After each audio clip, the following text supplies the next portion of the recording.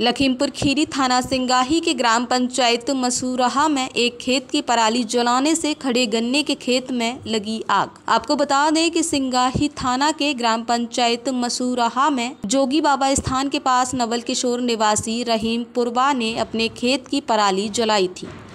उसी पराली की आग से अवधेश यादव पुत्र श्री केशन निवासी शीतलापुर का गन्ना जल गया। गन्ने को जलता देखकर पास के लोगों ने काफ़ी मशक्कतों के बाद आग पर काबू पाया। जल रहे हैं।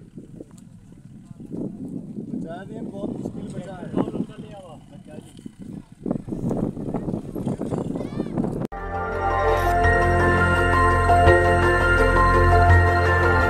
देखते रहिए डीवी भारती समाचार। नज़र हर खबर पर।